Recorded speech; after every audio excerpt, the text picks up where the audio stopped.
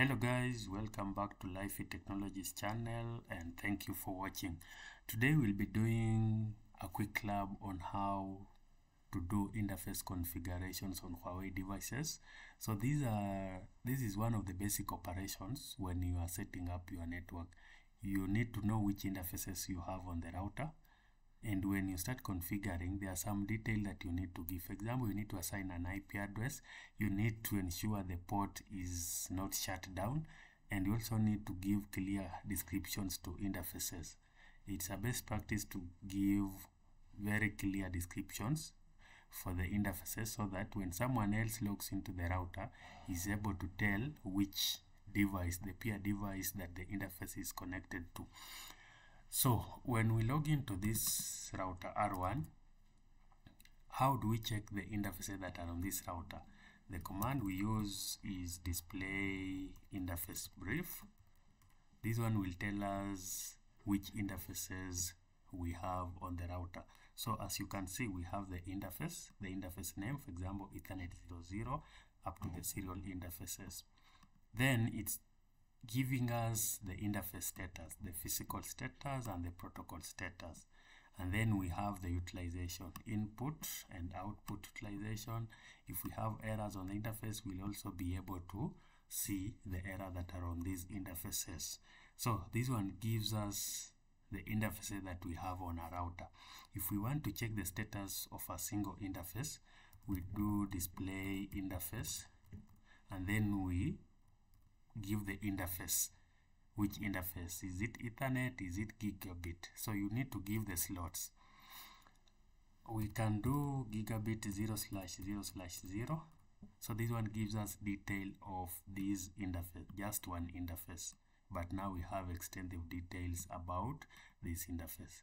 You can see the current state. The administrative state is up then we have the line protocol current status is down. We haven't done any configurations so it will be down. The protocol status will be down. We don't have any descriptions on this interface. Then we also have the mtu it's 1500 the default mtu we can check the last physical uptime the status of the interface. So if the port is flapping you are able to tell from there last physical uptime and last physical downtime. Then you can check the input and output. The input bandwidth utilization the output bandwidth utilization and even the packets how many packets per second. So this one gives us and even if you check here you can see that we have the hardware address the MAC address of this interface. If we check another interface gig 01 course we expect the MAC address should be different but you can see all the other status. We haven't configured everything so they are almost the same. So display IP interface brief should be able to tell us if we have IP address assigned and the exact IP address that is assigned on any interface on this router as you can see, the IP address and mask is not assigned on any of these interfaces. So the status in this field, IP address slash mask, it's unassigned. So how do we configure an interface? Of course, we need first to go to the configuration view. We are now in the global configuration view, but we are doing configuration on a given interface. So let me just move this one so that we are able to see the parameter that we need to configure. So the first step is to go into the global configuration view. Once we are in the global configuration view we need to go into the interface configuration view. So we specify the interface that we need to configure. We are configuring interface gig 00 that is connecting to router 2 so we go into this interface. We can display this command display this. It will tell us that we don't have any configurations on this interface. So the first thing we can do is to provide a description for this interface. How do we provide description? We have a command on Huawei description. Then you need to give a text. And it's specifying that no more than 242 characters. So our description should be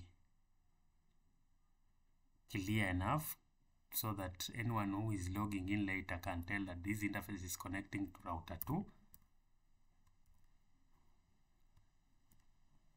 gig 0 slash 0 slash 0 so this one tells us that we are connecting to router 2 the port that we are connected to router 2 so now if we display this we have the description on this interface if it's on a real network or a real router not in a simulation environment you need to run the commit command but it's in a lab simulation. And on this router we don't have the commit command. So once you apply the command it will take effect. So we have a description.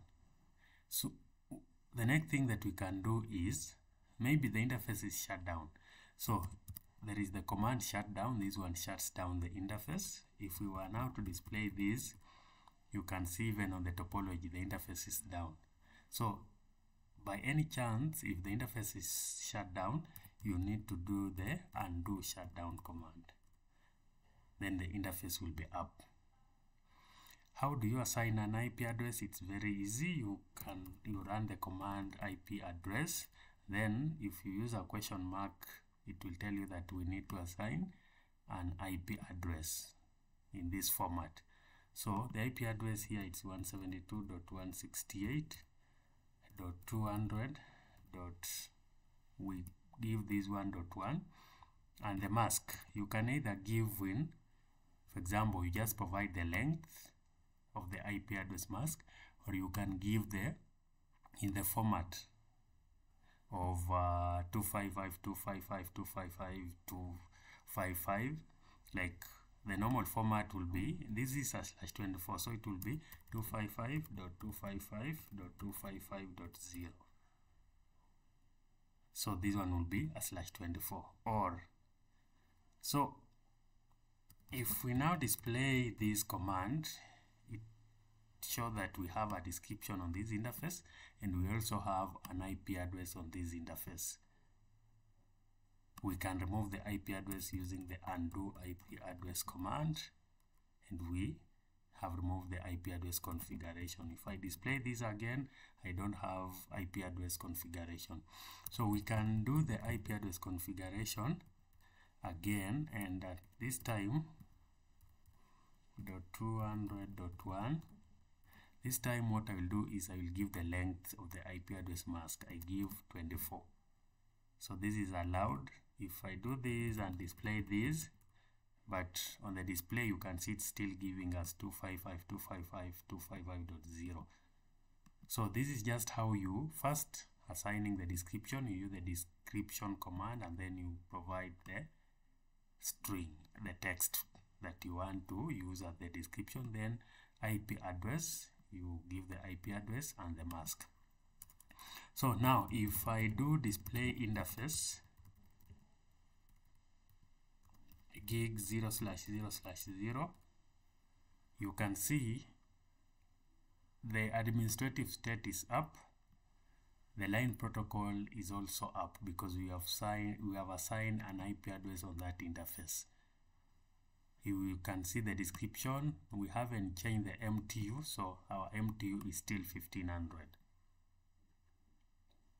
the interface the IP address the internet address that we have assigned the IP address you can see it here 172.168.200.1 and many other the other details remain the same because we haven't done any changes on the in the on other configuration like there is no traffic that is flowing so this one is still zero percent input and output traffic. So now if we do display ip interface brief we expect that gig 000 has an ip address assigned and you can see it's the ip address that we have configured 172.168.200.1 slash 24 the other interfaces have no IP address assigned, so it's still unassigned. So if we go back to interface gig 0 slash 0 slash 0 and we end a question mark, we can see that all these are different parameters that we can configure under the interface. We can configure MTU and then we need to provide MTU value from 46 to 16,000 so I can do an MTU of 9k so if I do display interface gig 0 slash 0 slash 0 I expect the MTU now to be 9000 so I've changed the MTU the maximum transmit unit from the default 1500 to 9000 and under these interfaces you can do other configurations like you need to enable protocols maybe ISIS or OSPF MPLS but yeah this lab was just uh, a quick lab on how to do interface configurations. The last thing that we can look at is how to configure a logical interface. For example you need to create a loopback interface on this router. How do you go about it? So for loopback interfaces same way we've done for the interface gig 00 you need to specify interface then I can run loopback if you enter question mark tells you that you can create in total 1024 loopback interfaces 0 to 1023 so you can create 1024 loopback interfaces on this router so this one will just create loopback 0 we now have loopback 0 and I assign an IP address. This is 1.1.1.1 I will use the length 32 so if I do display interface brief I now have loopback 0 created. If I display IP interface brief I now have an IP address here for loopback 0 sometimes if you just display interface this one gives you all the details for all the interfaces. But it will not be easy checking. If you are looking for a given interface it's better you just display that specific interface instead of displaying all the interface and starting to search or scrolling up and down as you try to find the interface that you are looking for so I can also display the current configuration on a given interface. I can display current configuration, interface gig 0 slash 0 slash 0. This one will give me only the configurations on this interface. I can do the same for loopback 0 using a similar command. I just change loopback 0 and then it gives me the output of the configuration that are configured on loopback 0 only. So these are just some basic operation or basic configuration that you need to do on an interface. Configuring the MTU, configuring an IP address, giving interface description, shutting down an interface, and even checking the interface status. So thank you for watching and please remember to subscribe to our channel for more videos on networking. Thank you.